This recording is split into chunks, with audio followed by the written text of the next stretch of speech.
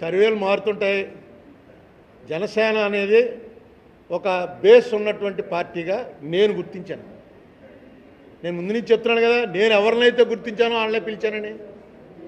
నేను పిలిచిన పార్టీలందరికీ సంబంధించి ఖచ్చితంగా ఎంపీలు లోక్సభలో ఉంటారు. మన పా మన స్టేట్ నుంచి కాకపోతే వేరే స్టేట్ నుంచి అయినా ఉంటారు.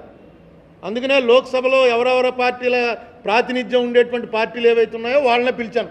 ఉండడానికి అవకాశం ఉన్నటువంటి పార్టీలు ఉన్న పార్టీలు. సో వాళ్ళ డెసిషన్ వాళ్ళు తీసుకుంటారు. నేను పిలవగానే రావాలని రూల్ ఏం లేదు కదా. వాళ్ళ డెసిషన్ వాళ్ళు తీసుకున్నారు. దానికి నో రిగ్రెట్స్.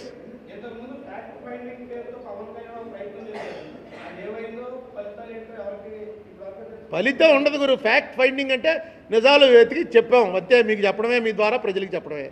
ఫలితానికి పవన్ కళ్యాణ్కి లోక్సభలో మెంబర్ ఉన్నాడా? శాసనసభలో మెంబర్ ఉన్నాడా? రాజ్యసభలో ఏ సభలోనూ ఆయనకి మెంబర్ లేడు.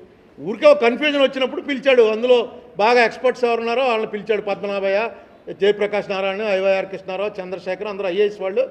ఎలా నడుస్తాయో ప్రభుత్వాలు తెలుసు. వాళ్ళందరినీ కూర్చోబెట్టాడు. కూర్చోబెట్టి రిపోర్ట్ ఇచ్చారు. ఆ రిపోర్ట్ ఫర్ పబ్లిక్ కన్జంప్షన్ దానికి అల్టిమేట్గా ఏమవుతుందన్నది సాధించవలసింది శాసనసభలో లోక్సభలో మెంబర్లు ఉన్నవాళ్ళు వాళ్ళు సాధించాలి. ఆయన చేసిన కార్యక్రమం చేశాడు.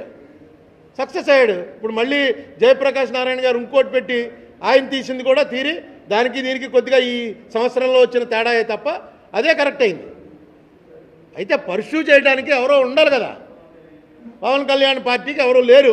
రేపు ఎలక్షన్లో వస్తారేమో చూద్దాం.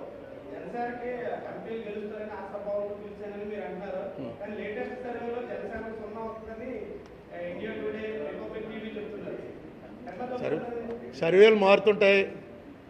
జనసేన అనేది ఒక బేస్ ఉన్నటువంటి పార్టీగా నేను గుర్తించాను.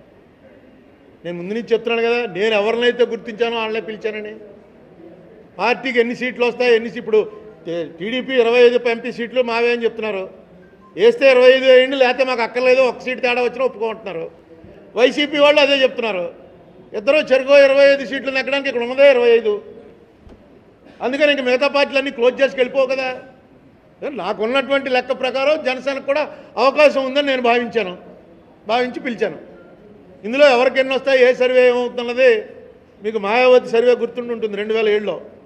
మొత్తం దేశంలో ఉన్న అన్ని సర్వేలు ఫెయిల్ అయిపోయి ఆవిడ సొంతంగా వచ్చేసింది అధికారంలోకి.